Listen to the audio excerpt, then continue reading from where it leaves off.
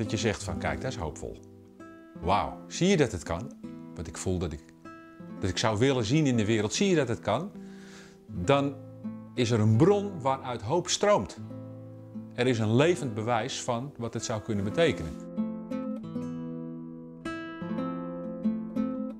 Ik was laatst naar de, de Smurfenfilm uh, met mijn zoontje.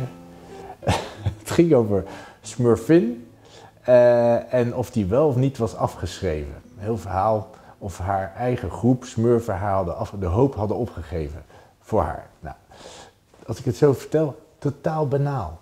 Maar het raakte mij enorm. Want als je iets afschrijft, jezelf, een situatie, een ander, dan houdt alles op. Dus, als je iets van hoop kan vinden, koester het.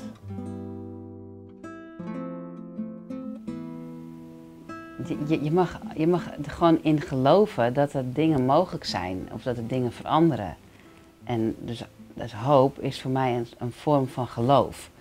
Dat, dat je op die manier uh, jezelf toestaat dat, dat er dingen kunnen en mogen veranderen. Als je jezelf overwonnen hebt, je, je doet iets waarvan je eigenlijk je afvroeg, gaat het lukken? Ik weet het niet, maar what the hell, de dood of de gladiolen. Ik ga gewoon en het lukt, dan heb je jezelf hoop gegeven. Je hebt je bewezen dat het kon.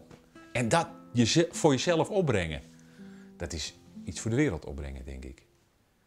Dat straalt af zonder dat je je nog druk hoeft te maken over het effect.